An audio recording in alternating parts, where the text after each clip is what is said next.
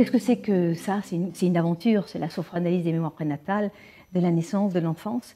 C'est une aventure qui démarre au moment où on est dans le ventre de notre mère. C'est-à-dire que dès notre conception, dès cette première cellule hein, qui est issue du spermatozoïde et, et de l'ovule, cette première cellule qui est notre premier habitacle, moi j'appelle ça notre petit véhicule de location. Hein, parce que c'est vrai, c'est un petit véhicule de matière qui va bien nous servir et qu'on va habiter momentanément pour cette vie, hein, euh, et puis qu'on laissera quand on quittera cette vie, donc euh, évidemment.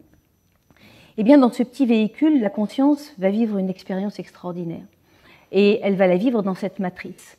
Et ce qui se passe, c'est que tout ce qui va se passer dans cette matrice, très souvent à l'insu des parents, de la mère, eh bien, euh, c'est quelque chose qui va marquer l'enfant.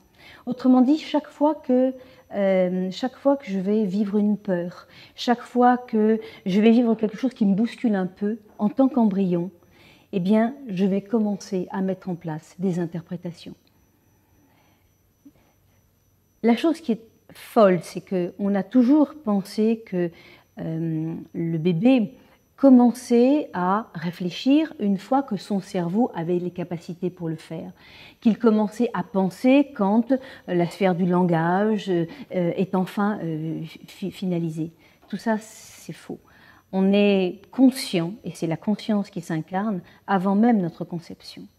C'est-à-dire que nous nous incarnons, et ce n'est pas toute notre âme qui s'incarne, c'est une partie de notre conscience, de cette âme, qui vient, qui vient habiter cette petite cellule et qui déjà réfléchit et sensible.